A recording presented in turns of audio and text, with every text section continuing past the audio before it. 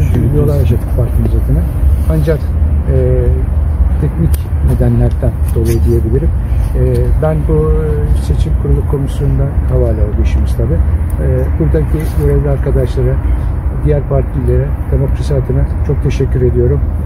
Yolumuza devam ediyoruz. Kapıdan içeri normal saatinde girildi. Ancak e, işte e, güvenlikten geçerken gibi gecikme. E, bunun e, teknik bir şeyi yok. E, tamamen e, gelirken ki aksaklıklar diyelim. Küçük bir olumsuzluk yaşadık bu akşam.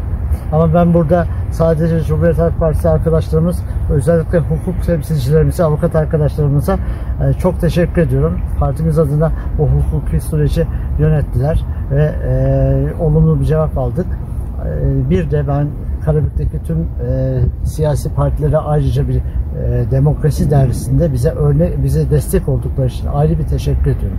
Bu gerçekten bir demokrasi mücadelesi. Her parti kendi siyasi mücadelesini yapar ve bunların yapıldığı ortamda seçimlerdir. Cumhuriyet Halk Partisi de bu seçimlerde kendi mücadelesini yapacak. Bu mücadelede öbür parti arkadaşları, partilerde bulunan arkadaşlarımız da bizlerle e, mücadele edecekler.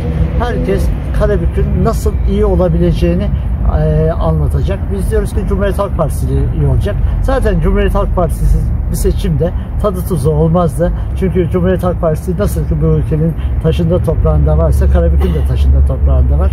Ben tekrar özellikle öbür siyasi partilerin beni telefonla arayan yöneticilerine, il başkanlarına teşekkür ediyorum.